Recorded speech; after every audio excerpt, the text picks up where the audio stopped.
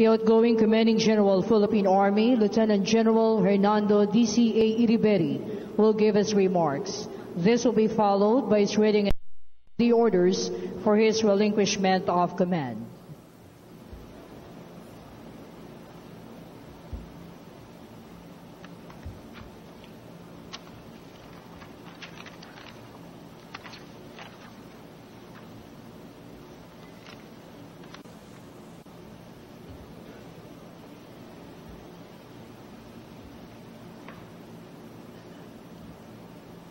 His Excellency Benigno S. Aquino III, President, Republic of the Philippines, Commander-in-Chief of the Armed Forces of the Philippines,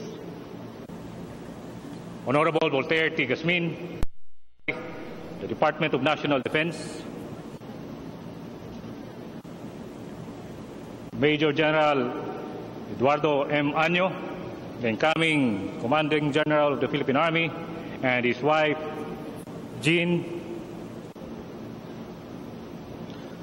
Most Reverend Bishop Leopoldo S. Tumulak, Bishop of the Military Ordinariate of the Philippines, my wife Agnes, and our children present, Honorable Melcinen Sarmiento, chairman of the Multi-Sector Advisory Board of the Philippine Army Transformation Roadmap, with another member, Ms. Tina Monzon Palma. Former, for, former commanding generals of the Philippine Army, headed by, of course, our Secretary of National Defense, the Honorable T. Gazmin,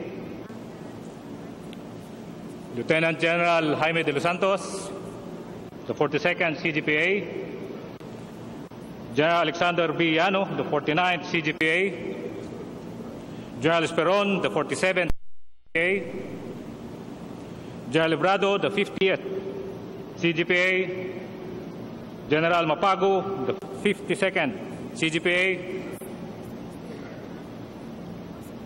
General Arturo B. Ortiz, the 53rd CGPA, former flag officer in command, Admiral Goles, and former CGPAF General de la Cruz.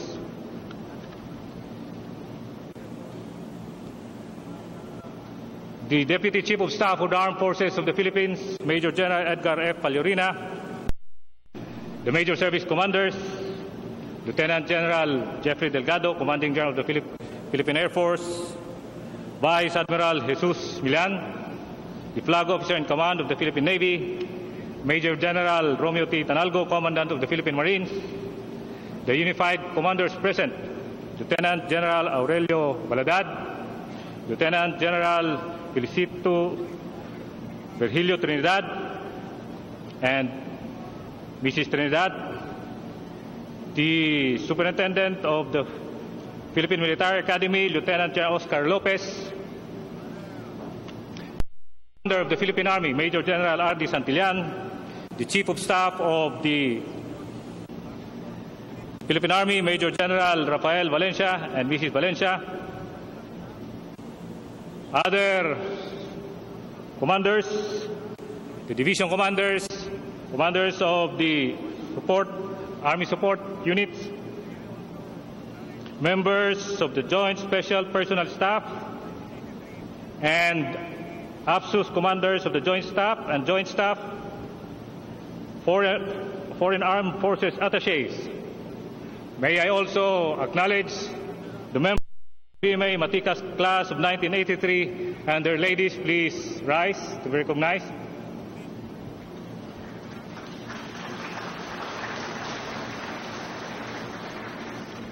Members of the General Personnel, Special and Technical Staff of the Philippine Army, members of the Combat Support and Combat Service Support units of the Philippine Army, other officers present, enlisted personnel headed by the Sergeant Major of the Philippine Army, Chief Master Sergeant Willie Avillonar, civilian employees headed by Ms.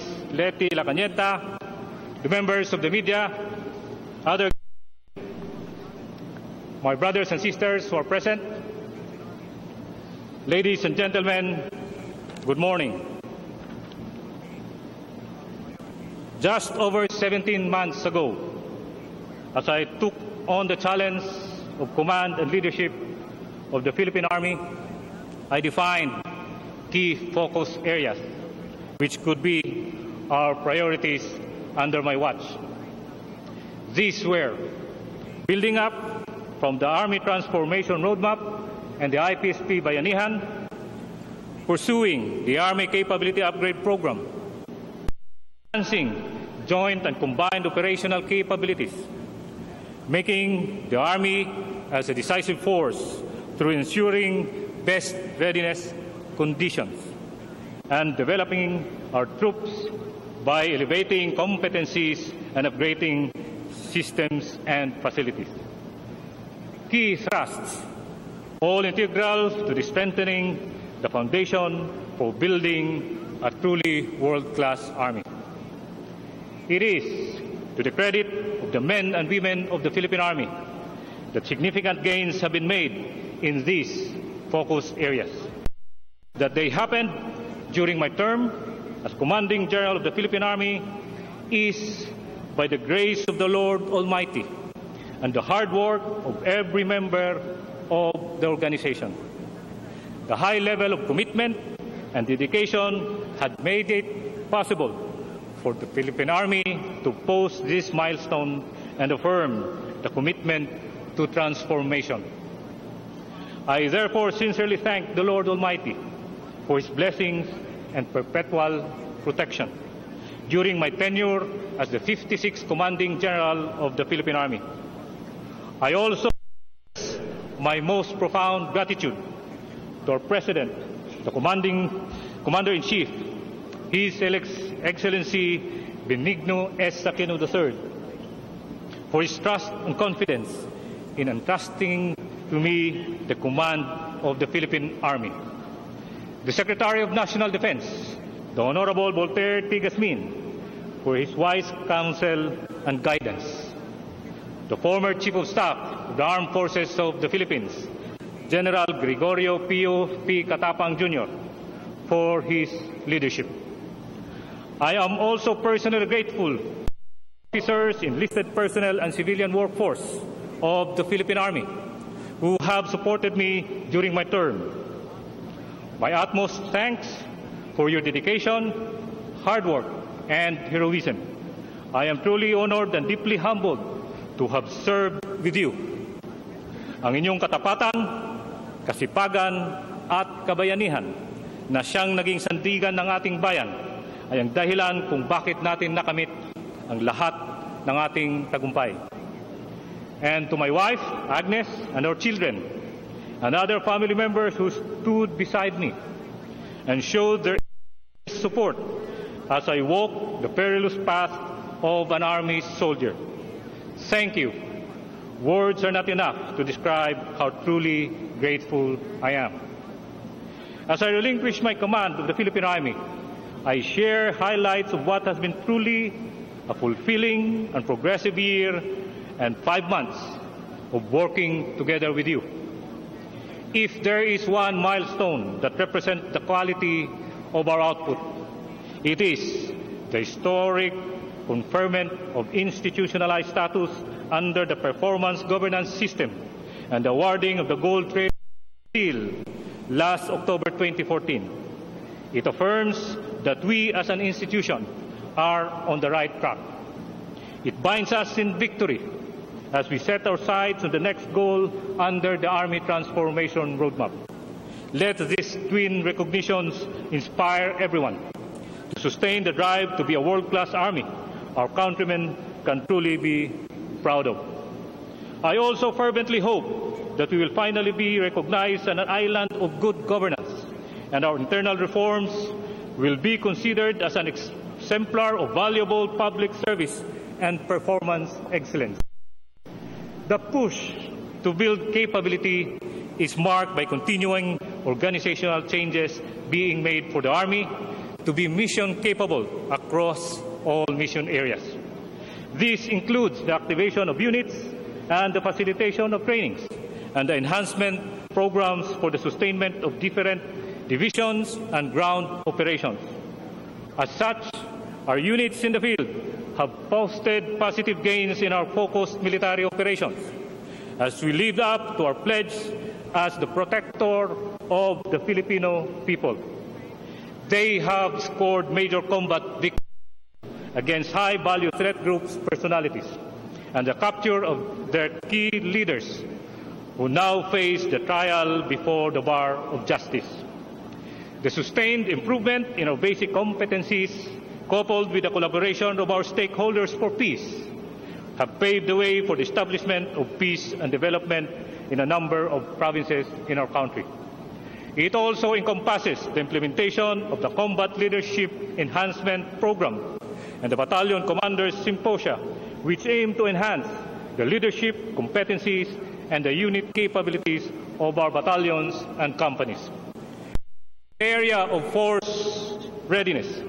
We have developed a solid and rational basis for the Army's organization and the capability thrust over the long term with the Philippine Army Force Structure 2028. Furthermore, the Philippine Army Organizational Development Plan will now serve as a blueprint on how the Army can, can and should develop its key systems and internal processes. On an institutional level, the Philippine Army operating concept has been crafted to serve as an enduring guide for the Philippine Army's organization, and capability development plans. We now have an enduring framework that will help define the Army's capabilities and capacities are applied in any and all eventualities in the future. On the upgrading of competency levels, while we continue to search for innovative ways to sustain our forward momentum, we have come up with initiatives that will leave an indelible mark on our organization. Foremost among these are the personal readiness badge, this one I'm wearing right on my pocket, that reflects the individual soldier's readiness to do his multifarious task and the best best competition to test unit readiness for any exigency in a highly challenging security landscape. Our soldiers are now equally adept in tracking their personal pursuits as more holistic measures has been established to test their individual readiness. Through the personal readiness badge, ratings in physical fitness tests, standing in schooling, scores in marksmanship, net take-home pay, and performance evaluation ratings are now included in the evaluation to make them more responsible stewards of their own military careers. The same holds true in testing organizational readiness, as a wide array of key measurement areas are made part of the consideration to better evaluate unit preparedness for any mission.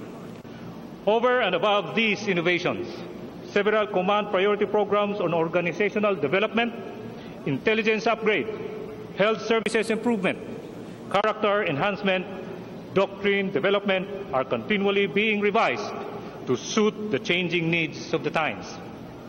Enhancing operational capabilities has required a comprehensive review and revision of outdated policies, as well as the formulation of new ones.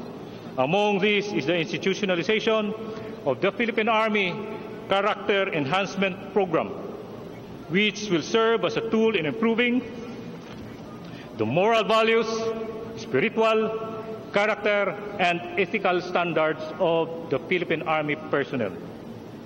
Finally, just last week, our fiscal management system passed the rigorous audit and has been recommended for ISO certification 91-2008. These are the highlights of the progressive work that we have been able to do together in my time as the commanding general of the Philippine Army. The recognitions as well as the substantive innovations show that we are moving forward in our journey towards genuine transformation and organizational development. Your Excellency, before I end, please allow me to submit to you my tour of duty report and the Philippine Army operating concept. These documents reflect our humble contribution to the achievement of your vision of a for the Filipino people as we walk the straight and righteous path.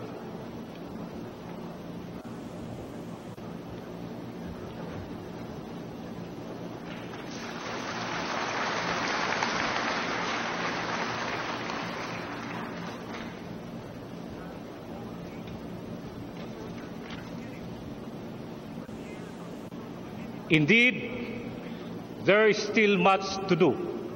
The Philippine Army must push for reform in order to transform. Thus, I call on each of, of our soldiers and units to adhere to genuine transformation founded on good governance and performance excellence.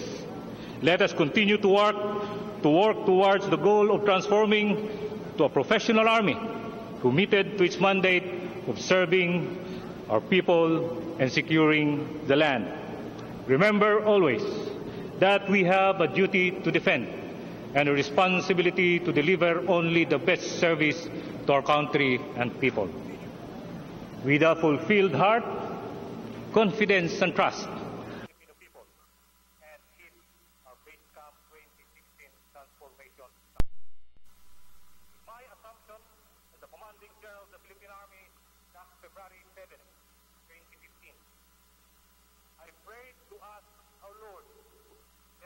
Our base camp 2016 transformation targets.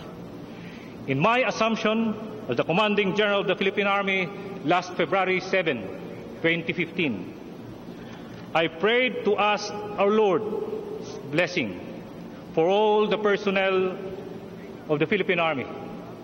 So today, as I end my tour as the commanding general of the Philippine Army, let me raise this prayer to our Almighty, whose amazing grace makes us achieve our aspirations for our organization. Dear Lord and Divine Protector, kindly bless the Philippine Army. Put your saving hand on each of one of our officers, men and women, and civilian employees, and deliver them through every challenge and battle for peace, progress, and transformation. Maraming salamat sa inyong lahat. Mabuhay ang hukbong katihan ng Pilipinas. Mabuhay kayong lahat. I, I shall now read my relinquishment order. Headquarters, Philippine Army, Office of the Commanding General, Fort Andres Bonifacio, Metro, Manila. 15 July 2015. Office Orders Number 01. Relinquishment of Command. Pursuant to Section 1, General Orders Number 771. General Headquarters, Armed Forces of the Philippines, dated 14 July 2015. I hereby relinquish the position as Commanding General, Philippine Army, effective this date. And I sign in your presence.